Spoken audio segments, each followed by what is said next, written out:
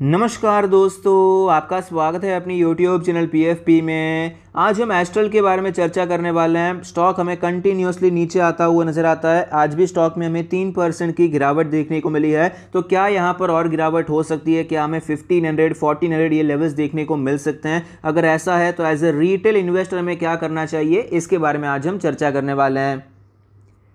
सबसे पहले फंडामेंटल्स पे फोकस करते हैं। प्रोडक्ट वाइज रेवेन्यू ब्रेकअप के बारे में बात करें तो प्लास्टिक प्रोडक्ट से 77.1 परसेंट का रेवेन्यू आता है। अधेसिव से 22.9 परसेंट और आपको पता ही होगा कि एस्ट्रल अभी पेंट बिज़नेस में भी एंटर होने वाला है। तो यहाँ पर अप्रॉक्सीमेटली आगे आने वाले साल से आपको पाँच दस परसेंट पेंट बिज़नेस से भी रेवेन्यू दिखाई पड़ सकता है।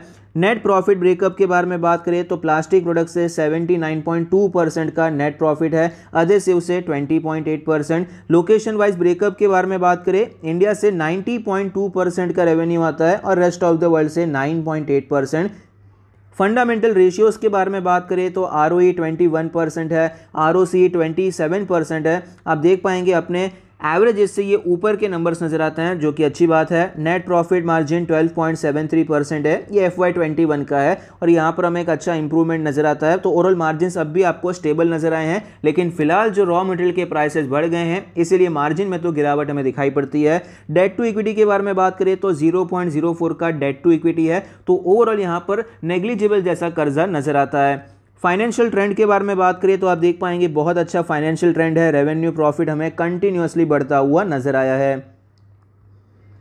शेयर होल्डिंग पैटर्न के बारे में बात करें टोटल प्रमोटर होल्डिंग है 55.73 परसेंट जिसमें से कुछ भी प्लेज नहीं है। म्यूचुअल फंड साढ़े सात percent other D I I पाँच percent F I I almost अठारह percent retail and other category में 14 परसेंट की हिस्सेदारी है। तो ओवरऑल शेयर होल्डिंग पैटर्न भी अच्छा है। प्रमोटर के पास पचास परसेंट से ज़्यादा की इक्विटी है और F I S D I S mutual fund, इनका भी इंटरेस्ट हमें अच्छा नज़र आता है।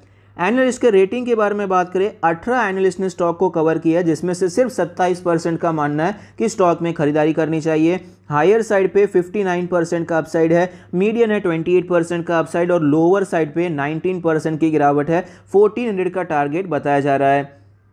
पीयर कंपैरिजन के बारे में बात करें तो इस सेक्टर में मार्केट कैपिटलाइजेशन में सबसे बड़ी कंपनी है और वैल्यूएशंस के बारे में बात करें, सबसे ज़्यादा महँगा वैल्यूएशन दिखाई पड़ता है।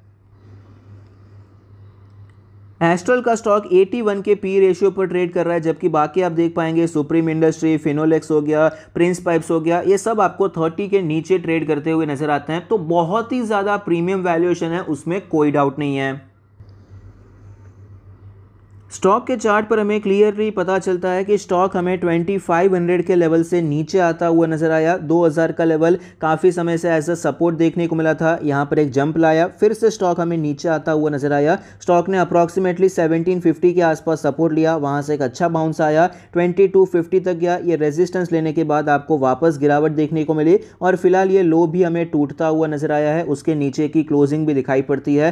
फ़िलहाल ये स्टॉक अपने सारे मूविंग एवरेज के नीचे है। ट्वेंटी 20 और 50 डेज़ के मूविंग एवरेज ने क्रॉस ओवर भी कर दिया है। Daily R S I twenty का लेवल है। वीकनेस है, उसमें कोई डाउट नहीं है। वीकली चार्ट के बारे में बात करें तो यहाँ पर भी हमें भयंकर वीकनेस नज़र आती है। अब देख पाएँगे, ये जो कैंडल्स है ऑलरेडी कंप्लीट हो चुकी है ये कैंडल वीक कंप्लीट हो चुका है और यहाँ पर आपको वीकली भी यहाँ पर नीचे की क्लोजिंग दिखाई पड़ती है। कितना धीरे धीरे ये स्टॉक आपको ऊपर जाता हुआ नज़र आया, लेकिन सिर्फ़ दो हफ़्ते में ये जो पूरी तेज़ी थी, गायब हो गई और स्टॉक में आपको गिरावट देखने को मिली और ये लो भी टूटता हुआ नज़र आया। तो क्लियरली स्टॉक में आपको वीकनेस नज़र आती है। वीकली आर एस का लेवल है। यहाँ पर भी मोमेंटम नीचे के साइड पे है। मंथली चार्ट के बारे में बात करें तो आप देख पाएँगे, यहाँ पर भी ये गिरावट हुई, एक बाउंस आया, फिर से गिरावट देखने को मिल रही है। तो मंथली चार्ट पे भी आपको लोअर हाई और लोअर लो का स्ट्रक्चर बनता हुआ नज़र आता है।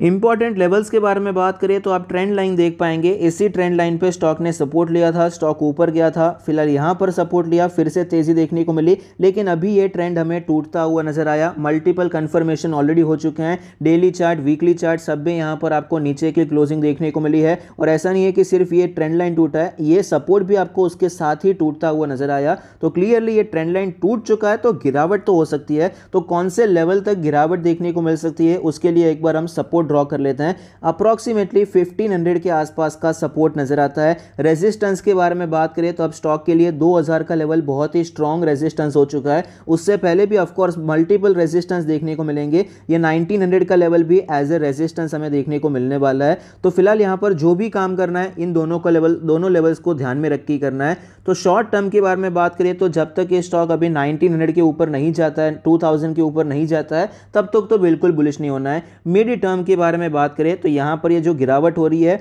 अगर ये 1500 के आसपास आता है तो ये एक अच्छा लेवल हो जाएगा जहाँ पर हम पोजिशन इनिशिएट कर सकते हैं, लेकिन अभी के लिए अवॉइड करना है। लॉन्ग टर्म के बारे में बात करें वैल्यूएशन प्रीमियम है उसमें कोई डाउट नहीं है, लेकिन जो बाकी पाइप की कंपनी है और एस्टल में डिफरेंस ये है कि अधेसिव्स में भी काम करता है और अधेसिव्स में दूसरी कौन सी कंपनी है? पिडिलाइट इंडस्ट्री है, वहाँ पर भी वैल्यूएशन आपको ज़्यादा नज़र आता है। तो जो भी अधेसिव्स वाली कंपनी है, वहाँ पर थोड़ा बहुत आपको हायर साइड का पी वैल्यूएशन ही दिखाई पड़ता है। तो ये मान सकते हैं कि इसीलिए यहाँ पर भी प्रीमियम वैल्यूएशन है और पेंट इंडस्ट्री में ये एंटर हो रहा है। पेंट इंडस्ट्री में भी हाई पी वैल्यूएशन दिया जाता है। आप कोई भी पेंट इंडस्ट्री का स्टॉक सिलेक्ट कर सकते हैं। ज़रूरी नहीं है कि आपको एशियन पेंट यानी कि मार्केट लीडर कोई सिलेक्ट करना है। दूसरी कंपनीज़ भी अगर आप देखेंगे तो वहाँ पर भी आपको स्लाइटली ऊपर के पी रेशियोज पर ही स्टॉक्स ट्रेड करते हुए नज़र आएँगे। तो लेकिन फिर भी वैल्यूएशन प्रीमियम में उसमें कोई डाउट नहीं है। ये एज ए इन्वेस्टर हमें रिस्क लेना है तो आप ले सकते हैं। अगर आपको ये कंफर्टेबल नहीं लगता है तो आप अवॉइड कर सकते हैं। तो लॉन्ग टर्म के लिए मेरे हिसाब से 1500 का लेवल अच्छा हो जाता है।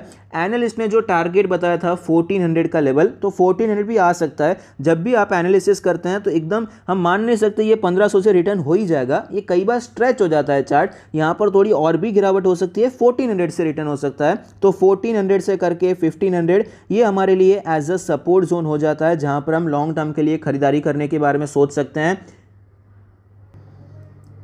पिछले कुछ समय में स्टॉक में जिस प्रकार से हमें गिरावट देखने को मिली है, बाईस के लेवल से कंटिन्यूसली नीचे आया है। कितने दिन हो चुके हैं, यहाँ पर एक ग्रीन कैंडल भी देखने को नहीं मिली है। तो मैं पर्सनली एक्सपेक्ट ये कर रहा हूँ कि थोड़ा बहुत बीच में बाउंस देखने को मिल सकता है, थोड़ी बहुत रिकवरी देखने को मिल सकती है। उसके बाद स्टॉक हमें नीचे जाता हुआ नज़र आ सकता है, क्योंकि इतना फटाफट नीचे आ रहा है, बीच में कुदर भी आपको शॉर्ट कवरिंग होती हुई नज़र नहीं है। तो यहाँ पर मेरा मानना है, थोड़ी बहुत आपको रिकवरी देखने को मिल सकती है, उसके बाद ये नीचे जाता हुआ नज़र आ सकता है। लेकिन उसका मतलब ये नहीं है कि स्टॉक ये ट्रेंड बदल गया है। ट्रेंड बुलिश होने के लिए ये ट्रेंड लाइन टूटना भी काफ़ी ज़्यादा ज़रूरी हो चुका है। अगर ये ट्रेंड लाइन टूट जाता है तो हम मान सकते हैं कि ये स्टॉक अभी बुलिश हो चुका है। ट्रेंड भी बुलिश होता हुआ नज़र आया है। लेकिन स्टॉक का फ़िलहाल सेंटिमेंट देखते हुए मार्केट का सेंटिमेंट देखते हुए ये नहीं लगता है कि जल्दी ही आपको ट्रेंड बुलिश होता हुआ नज़र आएगा। एक बार तो स्टॉक आपको पंद्रह के लेवल पर मिल सकता है, ऐसा मेरा मानना है, जहाँ पर हमारे लिए एक अच्छी अपॉर्चुनिटी बन सकती है।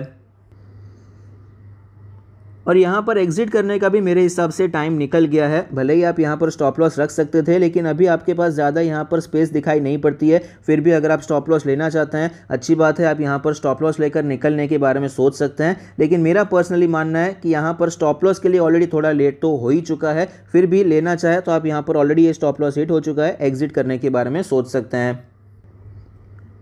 अगर आप एक लॉन्ग टर्म के इन्वेस्टर हैं, अगर आपका विजन है कि भाई पाँच साल, सात साल के लिए होल्ड करना है तो कोई प्रॉब्लम नहीं है। लेकिन अगर आपने लिया ही ट्रेडिंग पर्पज़ के लिए था कि भाई मुझे इतने परसेंटेज चाहिए, दस पंद्रह परसेंट प्रॉफिट मिलेगा, मैं निकल जाऊँगा। ट्रेडिंग परस्पेक्टिव से स्विंग ट्रेड पोजिशनल ट्रेड के लिए लिया था तो स्टॉप लॉस लेना ज़रूरी हो जाता है।